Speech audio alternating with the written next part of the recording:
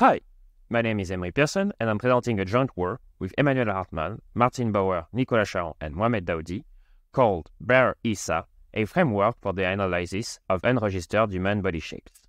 In this work, we focus on human body deformation, for which we want to build a framework that is able to solve some tasks like human shape interpolation or human motion extrapolation. We work on unregistered body shapes, which mean that we have no known parametrization between two shapes. They have high details with topological noise like on ends and feet. The key ingredient of our approach will be to work on a subspace of learned deformations, which will be equipped with a Riemannian metric, which is parametrization invariant and tunable. The varifolds will be used to bypass the need of registration. In related work, we find elastic shape matching, which equip the space of spherical maps with a Riemannian uh, metric. The problem is that the spherical parametrization is a hard problem to solve, and that it can be sensitive to topology. Recently, deep latent space have been proposed with a few methods that is able to encode and decode a shape. The problem is that the encoders often lack expressivity when confronted to new shapes, and the map from a latent space to a nonlinear shape space can lack generalization because it's a hard problem. Finally, some encoders tend to learn the parametrization of a training dataset. Our first ingredient is a Riemannian latent space of human bodies, which is basis restricted on pose and shape deformation spaces. This space is constructing using motion training data and equipped with the pullback of the elastic metric of the parametrized human shape space. The advantage of choosing a pose and shape space is to be able to disentangle easily the path between the pose path and the shape. Our second ingredient is the choice of the Riemannian metric. We propose the recent Sobolev metric of order 2, which contains six different terms that can be tunable. First, the kinetic energy of the path. Then, three other one physical terms penalizing shearing, scaling, and bending the completion of the other one metric, and another two regularization using the Laplacian. The third ingredient is the varifold metric, which we use to bypass the need of registration.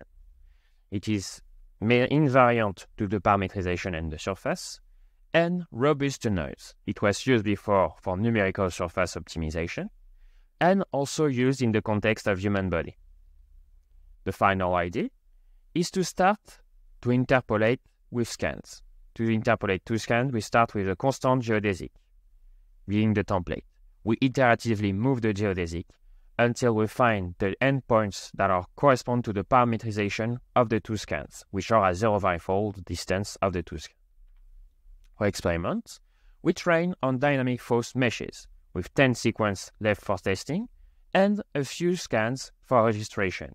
We provide quantitative evaluation of, on the paper using mesh invariant metrics. We apply our approach on mesh registration, human shape interpolation, and human motion extrapolation. We compare against three deep learning methods, which are LIMP, ARAPREG, and 3D-CODED, also providing the three latent spaces for human body. In mesh registration, we produce consistent registration against ground truth. Compared to LIMP, we provide always the, the corresponding pose.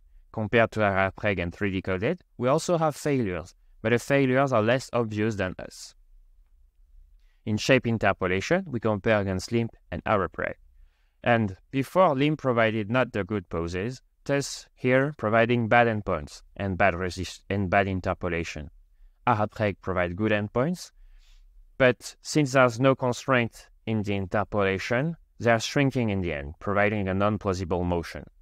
We are the only one to provide a plausible motion for the interpolation. We observe a similar behavior for extrapolation, where LIMP provide the, the wrong motion and ARAPREG provides shrinking on the end. Finally, we can apply our method on motion transfer by swapping shape and pose code, and we can apply our method on human shape generation with a generative model on the tangent space of the template.